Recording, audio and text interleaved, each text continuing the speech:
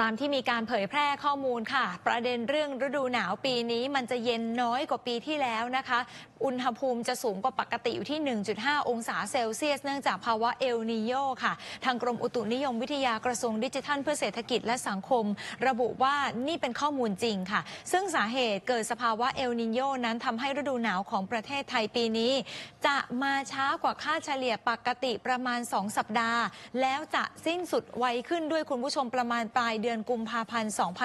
2567 ค่ะ โดยอุณหภูมิต่ำสุดเฉลี่ยบริเวณประเทศไทยตอนบนนะครับบริเวณที่จะมีอากาศหนาวเป็นประจำทุกปีเนี่ยจะอยู่ที่ประมาณ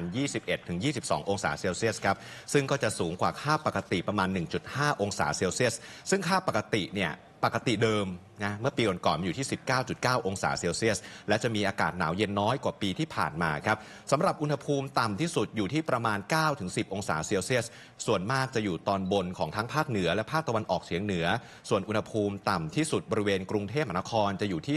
17-18 องศาเซลเซียสเดี๋ยวมารอดูกัน ภาคกลางกรุงเทพมหานครปริมณฑลเนี่ยค่ะ จะได้ไหม อ๋อ แต่ที่แน่ ๆ ใครที่จะนำเสื้อกันหนาวมาตากแดดเตรียมใช้ เปลี่ยนเป็นหน้ากากดีกว่าเออเก็บฮไปก่อนนะ เขาบอกว่าอืมกรุงเทพปริมณฑลเนี่ยนะฮะถึง 15-16 องศาเซลเซียสได้ ทางนี้เพื่อให้ประชาชนได้รับข้อมูลข่าวสารจากกรมอุตุนิยมวิทยากระทรวงดิจิทัล เพื่อเศรษฐกิจและสังคมครับ สามารถติดตามได้ที่เว็บไซต์ www.tmd.go.th